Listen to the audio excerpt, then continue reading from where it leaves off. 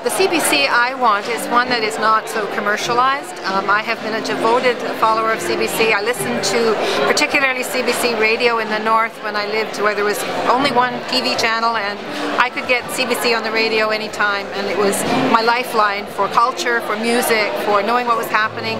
And now I'm interrupted constantly on CBC News Network, especially with commercials and also on the regular CBC channel.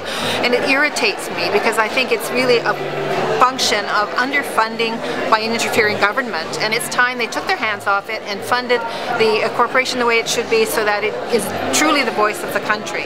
Thank you.